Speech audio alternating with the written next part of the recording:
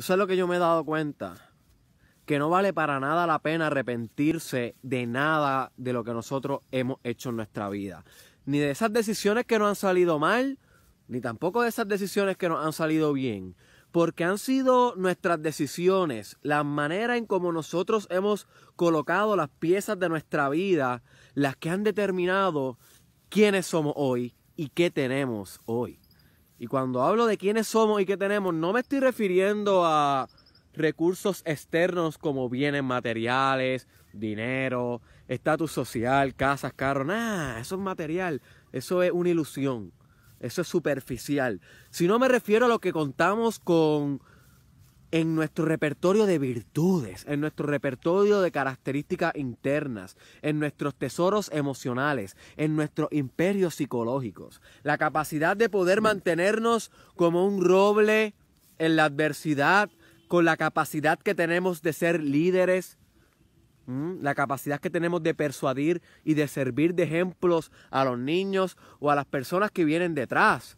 Esos son los recursos que hemos desarrollado gracias a las decisiones que hemos tomado que han conllevado unos resultados, a veces buenos, a veces malos, pero que de alguna manera nos han moldeado como el fuego moldea el metal, convirtiendo una figura eh, average en una figura hermosa, majestuosa, en una obra de arte. Tú eres una obra de arte y han sido cada uno de los cantazos y también cada uno de tus logros los que te han forjado, my friend. ¿Ok? Y yo quiero que analices esto. Mira, no vale la pena nunca arrepentirse. Mira, si tuviste una pareja que te dejó y te rompió el corazón, date un aplauso. Si tuviste un trabajo que te votaron y que pasaste malos ratos, date un aplauso. Si te colgaste en la universidad, si fracasaste algún curso en la high, date un aplauso. Si emprendiste una empresa, my friend, y esa empresa quebró al primer, al primer mes, Date un aplauso, pero siempre pregúntate al final de cada herida, al final de cada batalla, al final de cada fracaso, la pregunta clave y es la mejor pregunta que nos podemos hacer en cada circunstancia adversa o en cada triunfo también. ¿Qué aprendiste? You see, ¿qué aprendiste? Siempre mantente haciéndote esa pregunta porque está obligando a tu cerebro a hacer un brainstorming sobre sabiduría y empieza a acumular sabiduría. La vida no es simplemente algo más que una línea recta de experiencias, de circunstancias, de situaciones, de amor y de soluciones que se van recopilando y almacenando dentro de nuestra memoria, convirtiéndonos en personas sabias, en personas más avanzadas y en personas más complejas, my friend. Pero son las decisiones y son las malas experiencias las que nos regalan eso. Esa es la vida, no es más nada. Yo estoy aquí reflexionando sobre eso en un, en un paisaje hermoso, en, en unas montañas en las Marías. ¿Ok? Y analizando sobre la verdad de estas palabras que estoy aquí comentando. Cada decisión que nosotros tomamos, estaba leyendo en un libro, lo que hace es que compromete otra posibilidad. Cada vez que tú decides algo, tú estás decidiendo eso y estás eliminando otra opción que pudo haber sido posible. Pero yo realmente creo que cada opción que uno toma en la vida, cada decisión es la correcta, es la que va a traer consigo una lección que la vida te quiere brindar.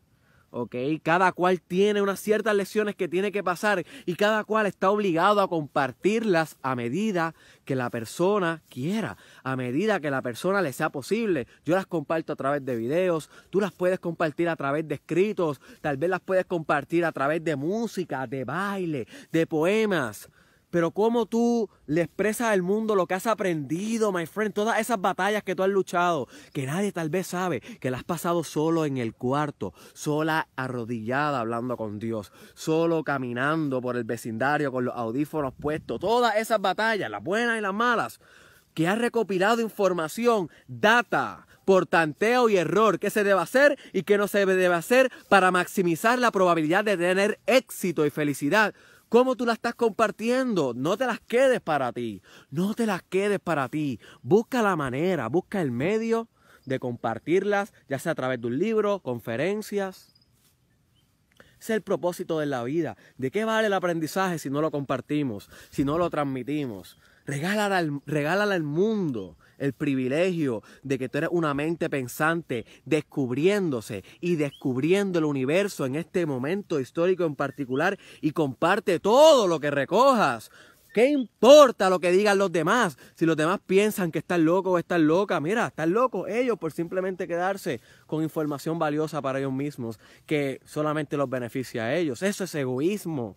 Y nosotros que estamos intentando reconstruir un mejor país, que estamos reconstruyendo un mejor mundo a nivel psicológico, entendemos que en el compartir se encuentra la libertad. ¿ok? Queremos equidad, por ende tenemos que brindarle al mundo lo mejor de nosotros y lo mejor de nosotros siempre viene en formas desagradables, incómodas, en penas, en llantos, en victorias también, ¿ok? Comparte, aprende, vive, sonríe, experimenta, que te queda poco, my friend. Te queda tan poco que a veces no tenemos idea del privilegio que tenemos. El privilegio que tenemos de poder sin, siquiera compartir hoy lo que sabemos y lo que aprendemos. Me voy la próxima. Antes era banca, pero un día me dije no más, no más, no más, no, no, no, no duermo bien, estoy pensando en suceso.